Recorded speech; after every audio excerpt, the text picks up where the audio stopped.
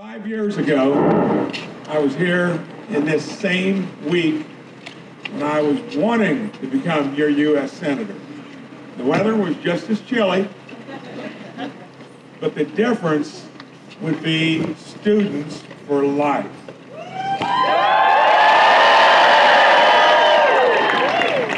And they've been to my office a time or two out in D.C.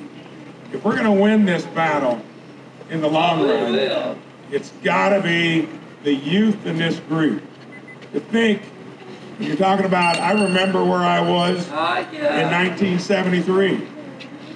73, when the judicial activists put Roe versus Wade in place, I was just starting out in life as a freshman, Wabash College.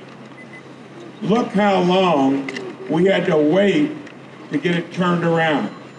Let's give a big hip hip hooray for our Supreme Court that finally stuck its neck out and did it.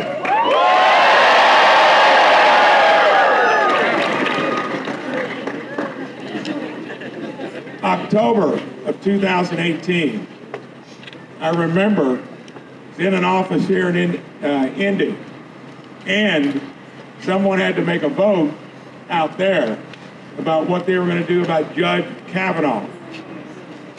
You know, I don't know how, what that played into my being here, but I think something resonated then, and thank goodness that Kavanaugh got across the finish line. And one of my proudest moments of being in the Senate is when one of our own, Amy Coney Barrett, was the fi final piece to the puzzle to get us where we are today. You heard Mike earlier.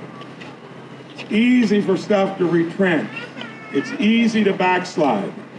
But we've never been in a spot where we got more opportunity to protect the sanctity of life.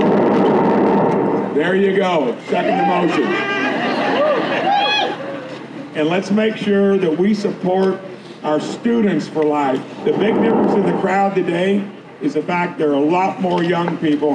Hallelujah, Lord. Thank you.